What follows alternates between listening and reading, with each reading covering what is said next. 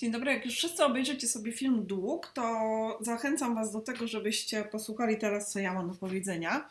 Y, a mam do powiedzenia kilka rzeczy y, dookoła tego filmu, y, a także kilka ćwiczeń, które chciałabym, żebyście wykonali w ramach utrwalenia tego i jakiegoś takiego mentalnego spowinowacenia sobie tego, co się będzie działo na tym filmie, z tym, w jaki sposób będzie jest przedstawiona y, zbrodnia i kara i jej problematyka, dlatego że w zasadzie są to rzeczy ze sobą bardzo, bardzo tematycznie zbieżne. Y, Dług jest filmem reżysera polskiego, który ma sporo ciekawych dokonań na koncie. Nazywa się Krzysztof Krause. Oto on właśnie na tym zdjęciu. Jest jednym z ciekawszych absolwentów naszej słynnej łódzkiej szkoły filmowej, jakich w ogóle ta szkoła wypuściła.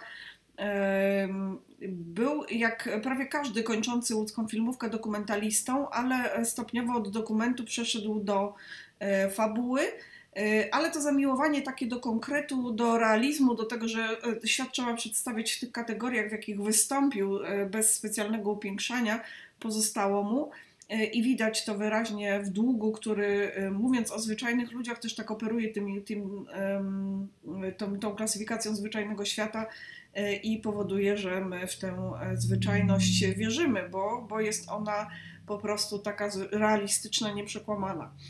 E, Krzysztof Krause jest ciekawym reżyserem, ciekawym artystą, który swoje filmy kręci w sposób absolutnie wyjątkowy współpracując ciągle z tymi samymi osobami, chociaż to akurat nie jest wyjątkowe w kinie europejskim, ale kręcąc każdy film w zupełnie innej stylistyce i zupełnie innej tematyce. Kiedy na przykład popatrzycie chociażby na okładki tych e, płyt z filmami, każda z nich jest inna i każda z nich jakby inną e, ekspresyjność wyraża.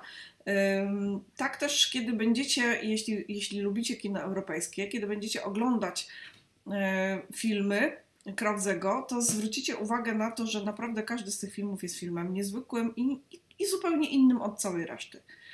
E, z takich, które mogłabym Wam polecić, na pewno byłby mój Nikifor, film, który już e, zyskał sobie pewną sławę w historii polskiego kina, którym przepiękną męską rolę zagrała e, doskonała aktorka Krystyna Feldman. I, jest to film, który budzi mnóstwo wzruszeń, bo opowiada o malarzu, który opuszczony, zapomniany e, malarz prymitywista, zupełnie nie, nieznany przez środowisko artystyczne, odnalazł swoje miejsce. Więc jest to taki film, który, który trzeba oglądać z pudełkiem chusteczek i, mm, i analizować los bohatera i spodziewać się, że będzie dużo wzruszeń.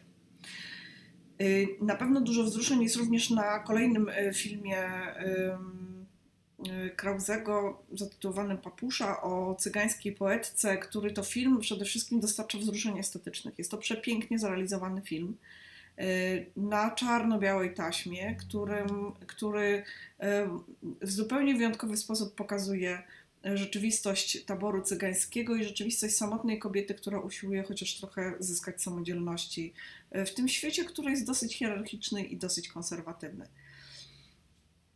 I Plac Zbawiciela. E, moim zdaniem absolutny obowiązek e, człowieka, który chce wiedzieć, jak wyglądała rzeczywistość późnych lat 90. Zresztą dług po części e, też ten,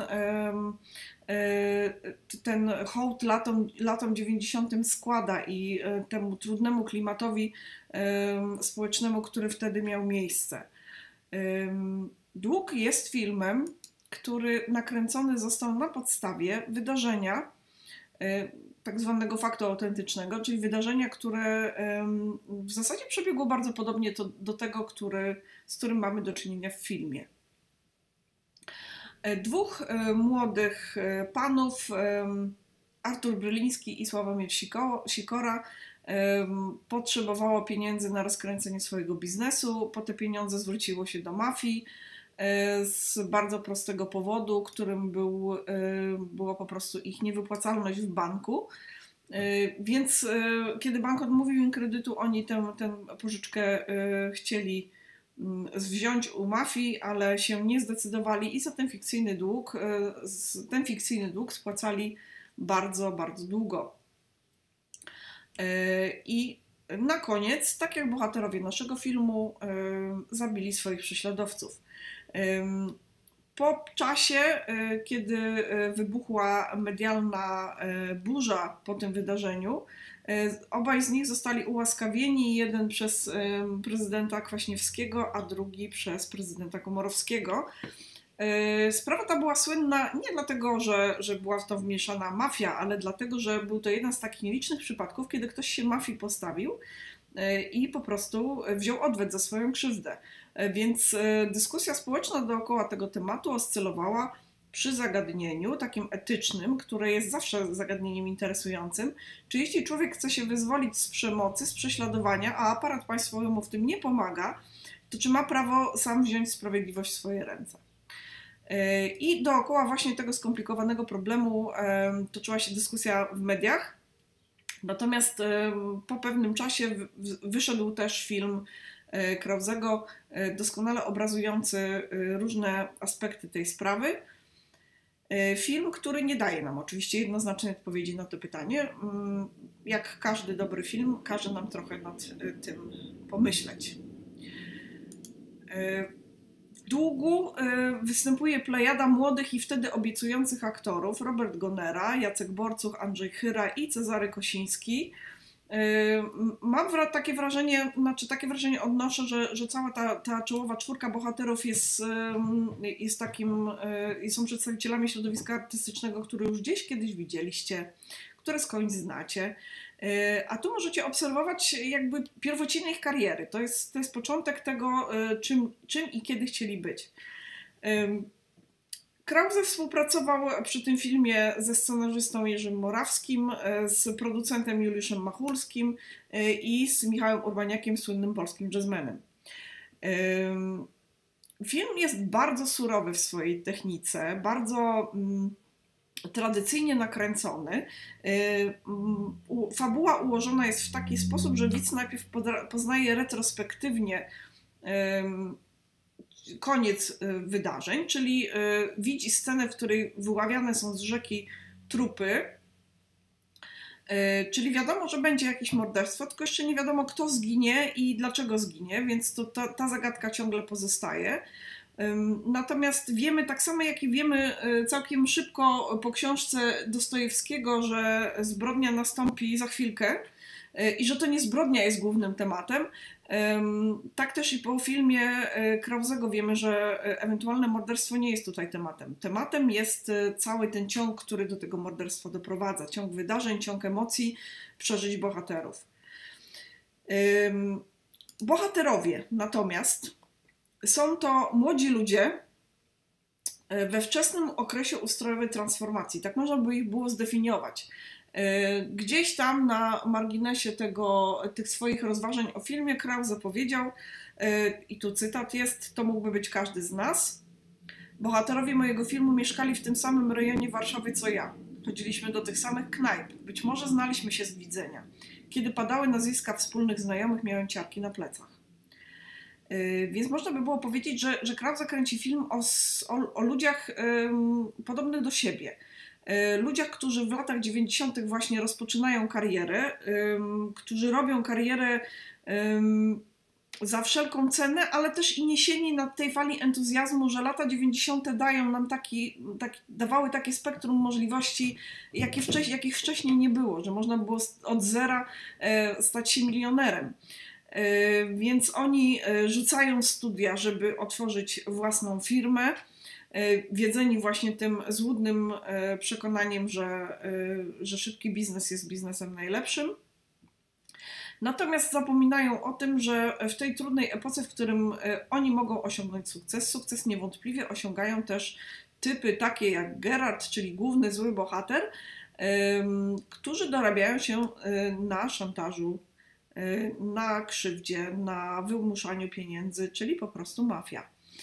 Y, Gerard jest, y, jest gangsterem eleganckim, nie jest takim dresem spod bloku, on raczej posługuje się dresami spod bloku i bardzo wpisuje się w stylistykę gangsterki z Wołomina, która w latach 90. była nie, zupełnie nieopanowana przez policję, tragicznie rozpanoszona i w ogóle słynna prawdopodobnie na całą Europę jako, jako taka mafia, która doskonale dawała sobie radę z każdym.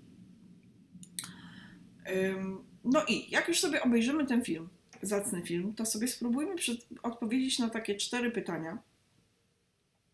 Na pytania, jakie elementy filmu budują wrażenie autentyczności tej historii, co sprawia, że my wiemy, że to jest film, który oparty jest na faktach, na realiach.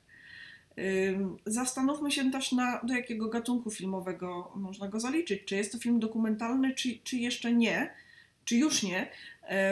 Czy jest to horror, czy jest to dramat, czy jest to thriller? Co to takiego jest? Y, założę się, że uważny widz będzie, będzie widział e, pewne niuanse w poszczególnych gatunkach tego filmu i będzie się zastanawiał bardziej e, niż, niż da jasną odpowiedź na to pytanie. W trzecim pytaniu wyliczmy sobie elementy filmu, które wzmagają uczucie grozy w widzu. Ja mam, mam, takie, mam taką fantazję, że, że przynajmniej trzy takie elementy znajdziecie. Y, I sporządźmy sobie wykres na linii czasu, na której umieścimy stopniową przemianę uczuć bohaterów. Jakkolwiek chcecie. Ja wyobrażam sobie ten wykres na, w postaci natężenia emocji, które y, w jakiś sposób przebiegają y, na osi trzymiesięcznych wydarzeń. Ale jeśli ktoś ma inny pomysł na te zadania, to zapraszam. I na sam koniec takie ćwiczonko argumentacyjne. Czy dług to jest film, który niesie klarowny morał? Zastanów się nad rolą sumienia w ludzkim postępowaniu. E, proszę sobie w jakichś pięciu, sześciu zdaniach e, odpowiedzieć na to pytanie. Czy to jest film, który moralizuje? Czy to jest film, który nauczył nas czegoś? Jeśli tak, stawiamy taką tezę i odpowiadamy. Jeśli nie, również spróbujmy sobie odpowiedzieć na to pytanie. E, dziękuję i mam nadzieję, że film się Wam podobał. Mimo tego, że jest już dosyć stary, to jednak pewnego rodzaju dosłowność w tym filmie ciągle jest taka uderzająca, szokująca i wstrząsająca.